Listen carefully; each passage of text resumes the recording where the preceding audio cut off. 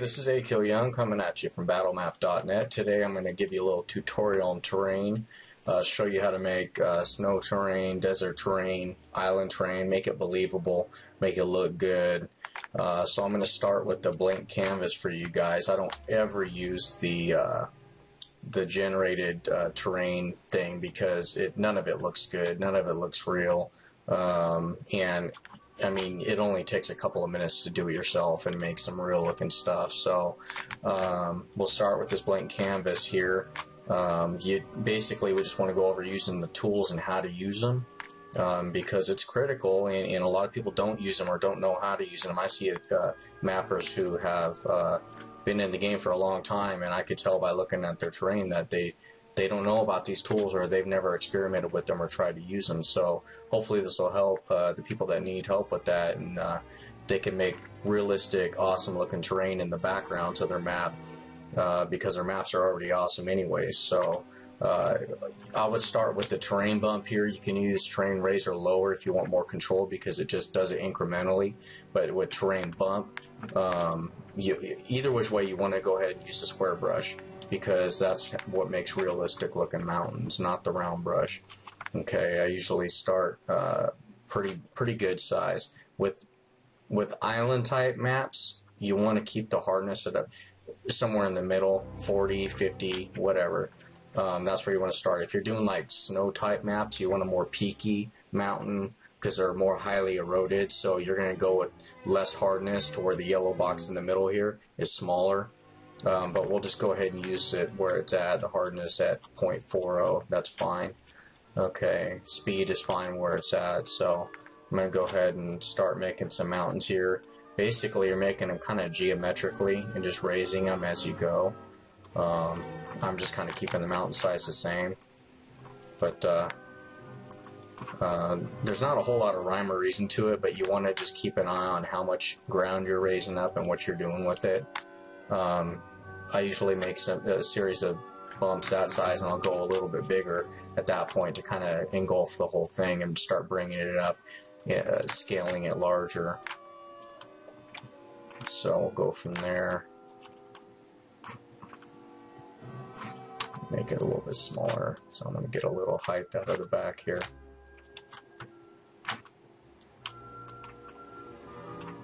Okay.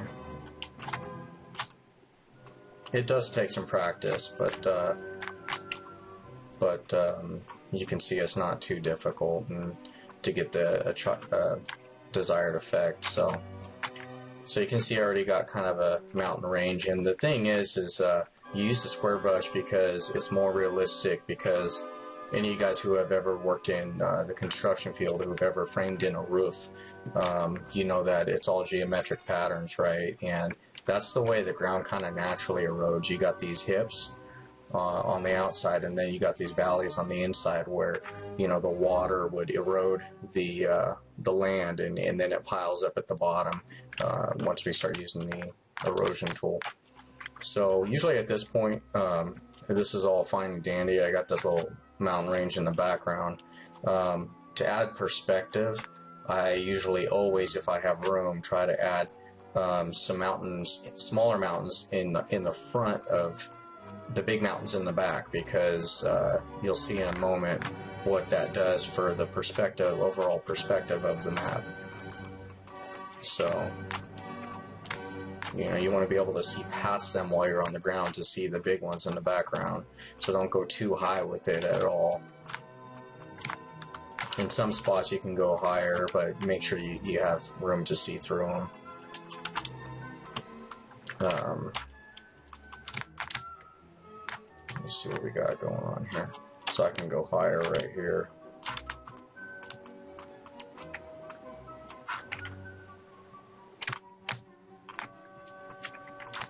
Okay. At this point um, is when you start using the erosion tool. I'm doing this in a specific order for a specific reason. You'll see why. I'm not putting any paint. I don't have any textures on it yet. Um, and I'll tell you in a moment why that is. So go with the erosion tool. Um, I usually keep the hardness uh, set pretty low. I don't want it to just destroy, wipe out all the, you know, all the details that I've made here. Um, density, deformation, landslide, they can all stay where they're at. It's no big deal. Um, I just want to do like a mild deformation to kind of just take those hard geometric edges off and just kind of uh, smooth them out and then bring a little bit of the erosion down to the base of the mountain uh, where the dirt would naturally pile up. So you can kind of see, boom, just with that little bit, even though there's no paint on it, the mountain ranges are already starting to look pretty realistic, you know, as much as it could be for a video game. so this is the point when I do do the paint. So first thing I want to do is get rid of the, the grid meter one. I want to put in a, uh, a texture, uh, a ground texture. So if I'm going to do an island, I usually like to go with, uh, I think, Coastal Grass 4. I like the darker ones. They look more natural than some of the lighter grasses they have. Okay, so there's there's the surface. This is all what's staying here. Then we want to use a cliff paint. I don't ever use the mossy cliff paints because I don't think they look very good. I like to just do this stuff myself. So um, cliff 1 looks great as an island. Um, so what you want to do is make sure your hardness is set at 0, distortion all the way to 1. Uh, and then do the speed just about a quarter of the way up, nice and slow. You have more control over it. Turn on your brush constraints and for an island type setting, you want to, uh, the only thing you need to really change is the minimum slope and set that at about 35 degrees. I mean, you could, you can go a little less or a little more and, and depending on what it looks like and what you're trying to achieve, but 35 degrees is a good starting point for an island map. With snow, you'll want to go steeper than that, right around 45 or 50 degrees. So, um, at this point, we can just paint on our cliffs You'll see the mountains starting to look pop out, look a little more realistic. Alright. Just paint it on. And I can see right now that there's a little more grass than I would like. I would like a little more cliff exposed at a lower angle.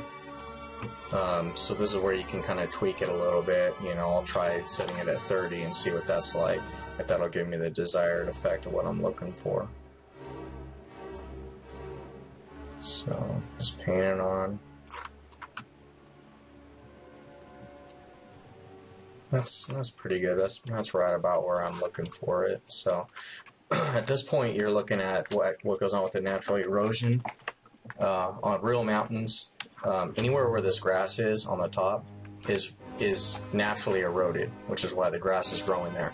Uh, the cliffs are exposed rock. So in real life, um, you got you're not going to have like lumpy or bumpy or really deformed areas where grass is. So you want to use your smooth tool and just come over it and just make sure you smooth the edges if there's any funky looking stuff, especially if you did a lot of uh, of the uh, erosion tool, you'll have a bunch of these lumpy looking ridges and you want to make sure they're all smoothed out with your smooth tool. I didn't do much erosion on this map, so it's not too bad. But uh, just go over the areas that have the grass, and that's why you want to do the paint after you do the erosion.